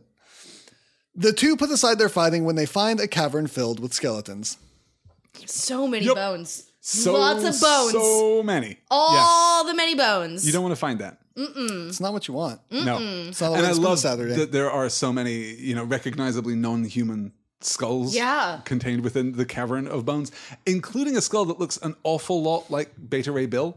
Ooh, I did not catch that. yeah, I, I That need to watch it again. I haven't confirmed that. I mean, not that felt. uh, not that it's Beta Ray Bill, but No, no, maybe no. it's someone from his race. Yes. and a tease for Beta Ray Bill, please. Thank you, MCU. Yes, Beta Ray Bill would be lots of fun. Beta Ray Bill, Sarah, is a horse-faced alien who, for a while, was Thor. Yep. I knew that somehow. I think we maybe then- talked about that before. Okay. yeah. all right. And then Odin made him his own hammer. Yeah. So he could continue being Thor Oh, like. he gets a, a horsey Mjolnir. Yep. A Mew Mew. A horsey meow meow. Uh, oh, horsey memo. That would that would be like the horse on the stick, except in power with the power of gods, right? Yep, yeah, yeah, yeah. All right. Star Lord and Ego continue the bond, and we learn that as long as there is light on this planet, Star Lord will have powers and be immortal, Mm-hmm. like his father. Which explains how he was able to hold on to the power gem in the first film Yes. and not be destroyed. Also, the power of friendship, but Also, the Yeah, power a little bit of friendship. both. Yeah, Yes. yeah. I think he would have been destroyed, but not as quickly. And Yes. then his friends helped him. They give him that like extra one percent. yep. I like it. Mantis wakes up Drax to inform him of Ego's true plans. Mm-hmm. Back with the Yondu, the Yondu goes off on Rocket's tough guy image, telling him that they are just alike, acting out of fear and hurt. And I really like that moment. This is one, uh, gosh, okay. I think that I teared up during this moment because whenever, you know, Yondu is yelling at him and just saying stuff like, oh, yeah, you know, you're pushing everybody away and blah, blah, blah, and all this and that and the other. And it turns out that, like, Yondu is also talking to Slash about himself. And Yeah. just, like, Yeah. for these two characters to bond over this very specific thing, like, it hurt my heart so much. I was just like, you guys just want to be loved. It was really, really good, and and really did I think deliver mm-hmm. on the build up that we've got for Rocket's character through the mm-hmm. first half of the movie. Yeah, Right, for sure. And it even touched on Rocket's origins of his him being created. Yeah. Yeah. And I really like that as, as well. Uh, back with Ego, Ego talks to Star Lord about his plan that he calls the expansion. How he planted those alien plants on thousands of other worlds to extend himself to those planets. He impregnated women from those worlds and produced many children that Yondu delivered to him. But when they did not possess the same power of a celestial, Ego killed them, and that their bones are the ones that Gamora and Nebula found. this is like as far as like villainous plans go Yeah. this one is pretty bad Yeah. this is pretty extreme i mean like i was legitimately shocked and terrified and, and just like pissed off like Yeah. just angry that Yeah. this was a thing that he had done Ego, it turns out, is a pretty great antagonist. yes Yeah. He, yes he works really quite well. Mm-hmm. Yeah. During this time when Star Lord is all starry eyed in a trance, he says, I can see it, eternity, which may be a reference to the comics character Eternity, which is basically the character that all of the universe is contained inside of. He's just a big silhouette in a big white mm-hmm. space with the universe inside of him, no time, but that's a big Marvel character. It shows up often in Doctor Strange. This is yeah one of the Kirbyest characters in all. so it's like of the, end of St. Elmo's fire. Like it's all inside of eternity. So s- turns out Star Lord does have this power. As we saw, he mm-hmm. had he had the ball, and he can help Ego to fulfill his plan. The Ego needs the offspring to give him the extra boost in power to be able to do what he needs to do. Then Ego reveals that he put the tumor in Star Lord's mom's head to free himself of the pain of leaving her. That mm. that's not. I mean, as not- far yeah, as breakup what? plans go, again, just very bad, very Yeah. terrible. Also, okay, so are there no other Celestials that like Ego could go and find and do this whole thing with, or I'm does he require sure- an offspring so that he can control that I- offspring? there's some language in the Yeah. movie about the yeah the degree to which an offspring would be you know compatible with ego, Right. compatible with mm-hmm. his Yeah. powers. I don't think that another celestial would necessarily work. okay, From what we've seen so far in the MCU, we've only had a couple of small glimpses of what Celestials all are, and they're all different seeming. Yeah. So who else have we seen? We saw a celestial uh, skull floating in space. That Yeah. was nowhere in the Oh, first okay. film. And then in the footage, when they were talking about the power gem and they showed the giant creature destroying things, that was a celestial. Oh. Um, I think those are the only two. I can't. Those are the think only two that yeah. remind me. Uh, Okay, yeah, so we didn't In- get one in like the in Doctor comics- Strange or anything. No. Okay. In the comics, uh, Ego is not a celestial, Yeah. so this is kind of new territory. Okay. I'm not sure where right. they're going to be going with sure, it. Sure, sure, sure. Okay. It does seem as though celestial might not be a descriptor of a race as much as it's a descriptor of like a power level. Yeah, yeah. Like if you Oh. are Godlike just being. yeah, godlike beings. Okay, okay, So they're all not necessarily all the same. So, okay. Cool. Cool. Cool. Yeah. And when Ego reveals that he did this to Star Lord's mom, Star Lord snaps out of his starry eyed trance and s- just shoots the hell out of Ego. And it is my favorite scene, It maybe in this whole so film. good. When he just goes, What? And just pulls his guns and just unloads. He's like, You were not my yeah. father and you were dead. Yeah. Yeah. like without hesitation. You shouldn't have killed my mom and squished my Walkman. it's very good. But it turns out Ego doesn't need Star Lord's willing cooperation. He just needs him there to mm-hmm. use his power. Mm-hmm. So he restrains him and uses his extra power, activating the plants on all of these planets, causing mass destruction. And Ego crushes Star Lord's walk, Walkman and the awesome mixtape Volume 2 that his mother left him. Uh, and then you get to see uh, when they're flashing to different plants as the plants grow into these big blobs and start destroying things. You see Star Lord's grandpa from the first film on Earth uh, in a car for a, a brief second. And then in another brief second, you see two older people filming it. Th- those are uh, James Gunn's parents. Oh, cute! so. Yay! Hey, mom and dad, Some come fun be little destroyed by cameos this alien thing. Rocket, Groot, Yondu, Gamora, Drax, Nebula, and Mantis all join up and gear up to stop Ego. Yeah, this is our transition into the climax of the movie. The Guardians are are reunited. Mm-hmm. We kind of have laid to rest each of the subplots. We'll we'll put a button on each of those right at the end of the movie, but this works for me really well. Mm-hmm. yeah, yeah. Uh, were you guys worried at all that we were going to end up with another giant, uh, huge uh, power laser beam shooting up into the sky and being surrounded by a whole lot of like just numerous, numerous uh, little villains that we then had to destroy, like the last I don't know six Marvel films? It's a lot of summer blockbusters Yeah. that do Yeah. that. I'm, I'm always now worried about that. yeah, Yes. it, that's just my I, I, that's my fear. That's my greatest fear is that every film will somehow have that. I do like the. I, I think it's right around here where Yondu is accepted as the Guardians. Groot accepts him specifically using the F word, but for Mm-hmm. Yeah. some reason Rocket decides to not use it. it says we got to talk about your language. and this is where we get um, Star Lord saying, "You look like Mary Poppins," and Yondu says, "Is he cool?" And Star Lord says, "Hell yeah, he's cool." And Yondu says, "I'm Mary Poppins, y'all." Which was Ringtone, please. Michael was- Rooker saying, Right? "I'm Mary Poppins, y'all." God, that was real one of the greatest jokes I've ever witnessed, It and was it made me so so fun. so, happy. I loved it because he's Yeah. floating down with his little arrow. also such an a umbrella. comic book thing. Yeah. For, for a character, for his existing power set to be used in a new way, Mm-hmm. for Right. the, the arrow now to basically grant Yondu the ability to fly Yes. is just great. Yeah. So Star Lord fights Ego's human form, but his entire planet self fights back. Mm-hmm. Mantis is able to put Ego to sleep for a little bit while the Guardians fight back against the Sovereigns who showed up with all of their ships to attack as well. Mm-hmm. Yeah. Every time Sovereign showed up and we saw that they were like in their neat little like arcade pods, like back on their planet and doing the thing, it just made me want to watch Ender's Game again. Yeah. And they made a lot of arcade jokes while they were doing it. Yes, That was exactly. really yeah, fun. yeah, yeah. Mhm. Uh, but their whole fleet's destroyed. They used the giant lasers on the ship that uh, they they took from the Ravagers. Yes. It's a construction ship, so it's made to cut through rock. And they were trying to cut into Ego's planet uh, to get to the core, but they couldn't use it quite to do that because the fleet interrupted them. That that laser effect on the construction ship is fantastic. Yeah, it's the way really- Yes. the little Yeah. laser Little projectors move move around. around, It was really fun. so good. Yes. Yeah, I love Very that. well thought out, Yeah. I think. Rocket builds a bomb using the batteries that he stole, and Groot takes it and runs off with it because he is small enough to take it to Ego's through Ego's thick defenses and then to the core to blow up the brain. This was a joke that absolutely entire. I mean, like we probably spend too long on the "Does anyone have any tape?" Yeah. thing, And, and we saw but it in every trailer too. I don't Yeah. even care. But it's still funny. I don't even Yeah. care. It was like that kind of thing was specifically made to delight me because you just hear Rocket yelling at everybody, like, "Gamora, do you have any tape? No. Okay. All right. All right. Okay. You're cool. All right. Hey, Quill. Quill, do you have?" And I just. God, I was losing it. I could not eat it. it was And then- and I literally could not the eat it. part in the trailer that, uh, that we didn't see in the trailer, but we saw in the film that I really liked is like, I don't remember, is he saying, Did you ask Nebula? And Did you ask or Nebula? you ask- And he's like, Oh, well, he, she was right next to him. But, like, but you didn't ask her? ask she was right next to him. I feel like this is Everyone like. had tape. It would be you. I feel like this is every conversation that every sibling has had with one of their siblings Yes, at some point yeah. when they're like, "Hey, go get that thing for me." They- well, did you ask them if they had? Why would I ask them? They were right next to him. It really works. And here we get a really interesting kind of reflection on the story that has been told about Peter Quill all the way through the movie, because Groot actually is small enough that he can sneak into places. Yes. And yeah. I don't know if that, when I watch the movie again, I'm going to be paying close attention to that because I don't know if that builds into something, but it's damn near a three I beat feel like this there point. is like a three beat there. I yeah. like Yeah. it. Yeah. Mm-hmm.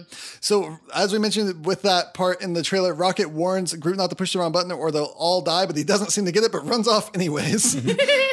Mantis gets knocked out, which awakens Ego, who starts to swallow up the Guardians as they try to escape, which is a little frightening, especially when they show Uh, Groot yes, getting. yeah, Oh, yeah, my claustrophobia no, really uh, got yeah, hit right there. I was like, bad. oh, no, no, no, no, no, no, no, no, no.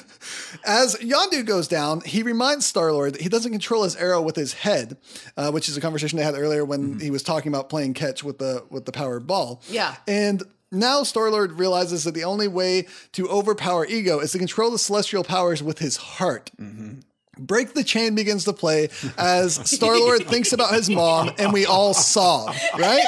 Yep. Right? It Yeah, really got yeah. me right there. No, I was it like, oh my yeah, gosh. Yes, no, it's it's a really excellent sequence. Um, they do turn into Harry Potter and Lord Voldemort from the end of uh, Deathly Hallows Part Two, uh, but it's cool. I'm into it. Like I like the effect. I think that it's good. But no, But they it don't was, stay there because he becomes Pac Man. Right, exactly. Yes, he Yes. becomes- I'm gonna be making some weird shit. Yeah. Uh, he, he totally referenced that he would be Yeah. doing this if Yes, he had these yes, powers. exact so it's not out of the blue, and I really I think it worked for Yeah. me. a Yeah, lot. yeah, Um, the Guardians are freed from Ego's grasp, and Groot reaches Ego's brain in the planet's core, setting the bomb to go off in five minutes. Drax carries Mantis to the ship while Gamora and Nebula also make it to the ship. Rocket gives his last spacesuit to Yondu to save Star Lord, but he only has one. Gamora tries to go back, but Rocket knocks her out, saying he's not willing to lose another friend. And that's a really sweet moment to me. Yeah, And yeah, Rocket that's- throughout I'm just like, the oh, man, just that- really That's great. about Really whenever I start really Yeah. losing it. Yeah. Yeah. yeah, Whenever when you get to the point um, in any story wherever you've got like your intrepid heroes, but we're still missing one person, and somebody is like, "No, I'm I can't." Yeah. You Yeah. know, I, you know, we can't. We have to go, or we're all going to. Like, I just, uh, I'm such a sucker for that kind of Right. thing. Ego pleads with Star Lord to stop the bomb, or else Star Lord will be just a normal human. To which Star Lord replies that he sees nothing wrong with that and lets the bomb go off. Yeah. Mm-hmm. Ego's human form disintegrates as the rest of the planet starts to explode. Yondu swoops in, grabbing Star Lord. As they leave the planet's atmosphere, Yondu puts the suit on Star Lord to save him and tells him that while Ego was his father, he was never his daddy. And Yondu then starts to freeze up in space. I this this is it. I mean, this is this is the adamantium bullet that will pierce my Mm-hmm. armor because the sacrifice here is just stunning. I didn't know where to put up my notes because I couldn't remember exactly when it happened, but uh, we did learn previously that Yondu had saved Star Lord when he realized what it was that Ego was doing Yeah. to these Yeah. children. Um, Which so- connects all the way back to the start of the movie. This is why Yeah. Yondu is exiled from the Ravagers. Is Yes. because well, it's partly because he he was trafficking in children in the first place, Right. but also because he isn't following through on his mission. This is why the mutiny Yes. occurs. Yes. This whole thing, we learn incontrovertibly that Yondu cares for Quill as though he were yeah, his father. he was willing It's to fantastic. do all of these things for Star Lord. That he was willing to lose his ship and lose his crew and then die for Yeah. him. Retroactively makes the first movie make so much more sense Yeah. because Yeah. Yondu's motivation through that movie was always weird. Yeah. But I love this that he will do whatever he has to do to to For his support kid. his family. well, in son, the first yeah. Mm-hmm. instance to keep his, to keep the Ravagers together, to keep his crew together, but he won't cross this line. Yeah. That's Right. fantastic. Yeah. And uh, yeah, whenever you've got Peter Quill yelling, no, no, no, no, you can't do this, you can't do this, and like getting teary eyed, and then I completely lose my mind and I guys- can't even Yeah. handle it. Chris Pratt's really good. He's Oh, yeah. really He's- good. yeah. really good. Yeah, the Yeah. emotion here is way too much for me. Yeah. like especially coming right off of that moment where he confronts ego and then to this where he finds who his daddy is. Yeah. He's like, You took care of me and you like his heart connects in that moment and he realizes just when it's too late to ever to Well, reciprocate and it. the whole idea, I mean, yeah, the whole idea that like, okay, that man was your father, but he was never your daddy. That speaks like very, very much to me personally. Sure. Like having like a really crappy parent. It's like, well, yeah, you know, that's your biological parental unit, but like, it's not your mom, it's not your Yeah. dad, it's not the people who cared for you and raised you, and Exactly. and all of that. And so yeah, that just, oh god, yeah, adamantium bullet like straight to my heart, and just I'm ruined forever. So the Guardians start to give Yondu a proper Ravager funeral, calling back to when um, he was told previously by his Yeah. old commander that he would not given, be given an honorable funeral Yeah. for the Yeah. things that he had Which done. Which is apparently such an important part of Ravager culture that it it all but destroys Yondu when he hears this. Yeah. This is as bad as the exile. Yes. This is this is as bad as it Worse gets. than the exile, Yeah. maybe. Yeah. Yeah. And Kraglin gives Peter a Zune to make up for his lost Walkman, which he says that Yondu had been holding on to, meaning to give to him for a while. And in return, Peter gives uh, Kraglin Yondu's arrow, feeling that Yondu would want him to take it. So they have this like little sibling bonding moment, like they, they were both children of Yondu. Yeah. And these are the things left for This them. is such a good joke. The Zune joke is yeah, perfect. Yes, Everyone's listening really to it now. It could have been an iPod and it would have been fine. Like it still would have been But it's better that it's a but it's a Zune. Yeah. It's yes. Thank you. Yes. Yes. Thank Yeah. you, James Gunn. You did that just Right? for me. It Yes, feels like. yes. yes. Uh, also, Children of Yondu is an amazing punk band name that is does only Oh, okay. MCU Yeah. songs. Uh, what, so, uh, which instruments are we playing? Yeah. Let's do this. Uh, I can do the triangle. Okay. Good. I'll- I'll play bass. A lot of triangle, a lot of maracas. Yes, I think- yeah. uh-huh. Well, I think I- this leaves you singing, Sarah. is what Well, this I mean, okay, I can no, maybe you do, can be our Kim Pine drummer. I can be the Kim Pine drummer There you and go. also Oh, yeah, yeah. lyrics. Yeah. yeah. Excellent. Excellent. And I'll do some guitar, you singing can and bass. Yeah. Perfect. Yeah, Yep, I've, I've great. done There we go. both of those things in punk Nailed bands very often. Ch- so- Children of Yondu. Patreon.com slash Call Radio. That's a three beat, ladies and gentlemen. Nebula reconciles with Gamora and leaves to hunt down Thanos. Mantis decides. I decides really like to that stay. scene too. Sorry. Yeah, it's a Yeah, really no, good yeah. Yeah, it's, yeah, it's, no. a, it's a really good one. Yeah, It was like, great, yeah. There are so many little girls out in the world who need to be saved. Nebula's like, I will save them by killing him. And Yes. I'm like, I'm into I that. I was really into that line. I I'm totally, into that very when I was specific making notes, thing. I forgot about that, but that was Yeah. such a great moment Yeah. when she said that. Yeah. This is how I will save other girls. Yes. I was like, oh, that's so good. Uh, Mantis does decide to stay with the Guardians, so we will probably Mm-hmm. see more of her Mm-hmm. in upcoming films. And as Yondu's body goes out into space, the Guardians see dozens of Ravager ships, including Stakar, arriving to pay their respects to Yondu, having heard of how he saved the galaxy and sacrificed himself. Mm-hmm. and we get these brief shots of the crews of the different Ravager ships, and we get to see how diverse Yeah. these people actually Mm-hmm. are. Pretty great. Yeah. So okay, what is up with the Ravagers? Like what? space pirates. Space. space- Okay, Yeah. just space Yeah. pirates. Yeah. Cool. I don't know if there's Clans actually of space pirates. I, I think Yeah. the idea is that they, they of have. pirates. Yeah, I think so. There's a clan culture there. Okay. Cool. Cool. Cool. Also, there's a small Easter egg. You will notice that there's various trinkets on Yondu's body as they're about to send him out. One of them is the little blue crystal frog that he pointed out from the first movie and was like, "How much is this guy? I have. A, I like to put him on my dash." It's- that little frog is there. Didn't notice that. That's excellent.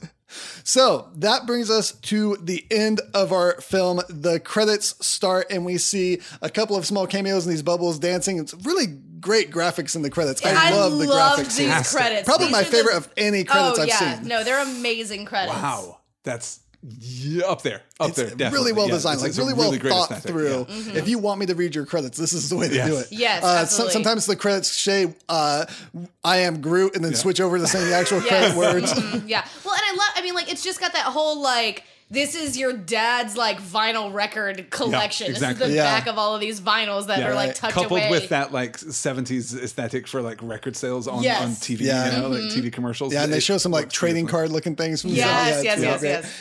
Great. But a couple of those uh, dancing bubbles, we see uh, Cosmo the Space Dog, which is a big character Mm-hmm. from the comics, and he did make a small cameo in the first film. Was hoping he'd be more in this film, Yep, but that's okay. yep, yep. And we saw Jeff Goldblum's Grandmaster from Thor Ragnarok dancing in one of those bubbles. Yes. In the comics, he's the brother of the Collector from the first Guardians film, so I, I kind of wonder if they're going to make that connection in the films. okay. We're slowly but surely just tying the Thor universe or the Thor slice of the MCU and the Guardian slice of the MCU Yeah. Into very a single closely slice. To be fair, yeah. most of like the origins of the things that we've seen in Guardians started in Thor. Yeah, yeah. So there's a lot of connection there with uh, Cosmic Marvel and Thor. Yeah, it's true. When we think of Cosmic, we generally think of Kirby and Stan Lee doing Fantastic Four in the early 60s, but there's a lot of this stuff comes in Yeah. with Simonson and Thor in, in up to the 1980s. Yeah. So we have five actual uh, credit scenes here Mm-hmm. after credit There were a lot. There were so many. That's like the most in yeah, that is film a lot. yeah. to this and day, right? I love it. The more of this, please, because this is how you get me to stay through your credits, and I really like interspersing them throughout the credits. Just Yes. here's another one, wait a little bit. Here's another one, wait a little bit. Here's another one. Rather than just having to wait through the credits, I'm on my phone chilling out. Yeah. You're keeping me active. You're keeping me focused Right, and reading right. these credits. Tweeting about the movie. And some of them are saying I am Groot, so I'm literally reading these credits. Yes. Fantastic job. This no one has ever made me read credits so much. Uh, so our very first one is just Kraglin trying to practice using this arrow, obviously controlling it with his head because he is, doesn't know what he's doing. Yep. Yep. And he shoots it right in the Drax. and then it's like, oh, and cute. then kind of walks away. It's a real fun, like Looney Yes. Tunes type joke. I love it. The next one shows Stakar honoring uh, Yondu's sacrifice by forming his own team uh, with Martinex T'Naga. I don't know if I'm going to pronounce any of these right because I've only ever Sounds read good. them. Yep. Who's played by Michael Rosenbaum, who played Lex Luthor in Smallville. Sure. Charlie 27, Starhawk, and Mainframe. And Mainframe is voiced by Miley Cyrus. So What? yeah, which I guess uh, Gunn said that he really liked working with Miley Cyrus. So maybe you'll see more of that. I don't know. Interesting, anyways. But here is the original team of the Guardians of the Galaxy from the 60s, excluding Yondu, who was one of their number Right. Yeah. in the comics. Um, the team first appeared in a partial reprint of a Marvel Superheroes issue number 18 in 1969, written by Arnold Drake and penciled by Gene Colan. They are from the 31st century, but have often come to the 20th century before. So the team would have. Uh, the team we have in this film is from the 2008 uh, Yeah. Annihilation series that I've mentioned before, and they had some interaction with that team, but mostly that 60s team was forgotten by that point, and no one really cared much about them. So it's kind of interesting to see the way they're bringing some of this together here. Um, we also see that the. um the red character Krugarr is harnessing mystical energy like Doctor Strange, if you know this uh, in that scene, and that's because he's actually really connected to Doctor Strange. He's a disciple of Doctor Strange and does at one point become the Sorcerer Supreme in the comics. So That's really interesting. we're tying more things into other things here that if you know, then you can see the connections. Okay, cool. Love that. Yeah. In another end credit scene, we have Ayesha uh, and another sovereign discussing their plan to take down the Guardians. We see Ayesha sitting by a birthing pod, waiting to break out whatever is inside to use against the Guardians. She decides to call it Adam. This references Adam Warlock, a genetically perfect, super powerful being designed by a group of scientists to be a more perfect version of, Ai- of Ayesha. Yeah. But here she, he's being created She's by created, Ayesha. yeah, but tying Um, back to you yeah, know, in the comics, they're known as and- him and her. Yeah. I think it yeah. was Oh, their alternate okay. names. Um, in the comics, he plays a big role in the Infinity Gem arc, Mm-hmm. and he was referenced in the first film by a cocoon, but Gunn said that was just supposed to be a throwaway joke, Mm-hmm. and it should now be dismissed and ignored. Oh, okay. Because this is clearly not a throwaway joke. nope, not anymore. Adam anymore. Warlock. Adam Okay. Warlock is coming. Yep. Interesting. Interesting. Huh. this means nothing to me, but I'm excited. I'm just I'm just eager to play Yeah. along, you guys. Adam Warlock is a member of the Guardians of the Galaxy and is a pretty big deal in like the 70s Marvel Oh, yeah, cosmic comics. yeah. Uh, not so much modern day, but a little bit in the Annihilation stuff that happened as well. So Even my husband, who is a DC fanboy and not a super big fan of Marvel, knew who Adam Warlock was. So Yeah. I guess he's like a huge deal. Yeah. Yeah, if you're into Marvel Cosmic, yes, absolutely. He's he's extremely powerful. He's extremely capable. The cocoon thing is really interesting. Every time he regenerates in his cocoon, kind of almost Doctor Who style, he emerges with new powers. Huh. So he's a constantly regenerating character. The idea being that he will adapt to overcome whatever it is that he's Sure, facing. yeah. So he's basically infinitely powerful because you can't kill him, and he will keep coming back with stuff that you can't anticipate. Oh boy. So, interesting. So how are we gonna kill him? Uh, this is what we're going to find out. Guardians 3 coming in, Yeah. I don't know, whatever, 2019. yeah, sure. That sounds like a good year. 2019, but set at the end of 2014. yes. it's- Man, we are getting silly with these timelines. So in another scene, we get Groot now being a teenager. So I don't know how much time has passed. 'cause I- It took three months for him to go from being a plant, like a, a potted little plant Yeah. seedling thing, basically. to baby Groot, and now he's a teenager. I actually read this as evidence that we are going to fast forward the timeline and that years are going to pass Yeah. before we get to Infinity War. I Right. think that I think that makes a lot be of yeah, sense, I suggesting- think so. Yeah, um, and we have Star Lord scolding him for leaving his roots around, and we have Groot mocking him with his "I am Groot" sarcastically. I love it. I love it. It's was so funny. Yeah. He's just good, playing yeah. video games on the ship, and, and I like that. This seems to be another uh, calling back to something where now Star Lord is in the place of fatherhood. Yeah, Yeah. yeah. In some which is way. Now I really know how great. Yeah. Yondu Yeah. felt. Yeah. Yeah. And then finally, we get our final scene with Stan Lee in his obligatory cameo here with the Watchers. Once again, the Watchers are apparently bored of his conversations and get up to leave him. And he's like, oh, You guys were my ride. I need, okay. Oh, jeez. Oh, guys. it's pretty cute. I wonder how much of that is meta commentary on viewers of the MCU movies All getting a of little it. tired It's of a Stan Lee at this hundred point. thousand Yes. billion percent. Yes, a fulfillion percent. And that's Guardians too. Yeah. That's it. We Yeah. did I it. think we really enjoyed it. Yeah. Yeah. Where does it rank for you alongside the other MCU movies? Obviously, we've only seen it once, so we can't really Mm-hmm. judge it. But is it like a contender for top five? Is it a Yes, contender it's for in my top three, five. I maybe? think it might be in top five, but probably not top three for me. You, you know what? Hold on. Hold on. Uh oh.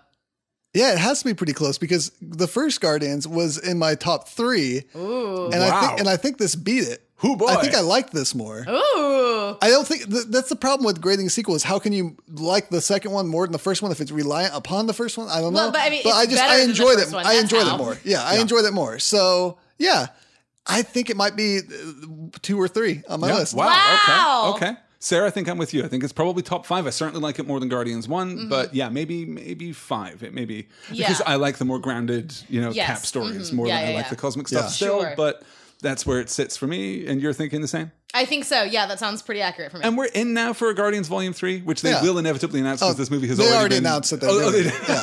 oh, good. I missed it. I probably read it on Twitter and Because was like, Gunn well, said duh. like multiple times, "I am not doing it. This takes too much time." And Yeah. then when this came out, he goes, "Okay, I'm doing it." All All right, right. fine. Back the money truck up to my house. Okay.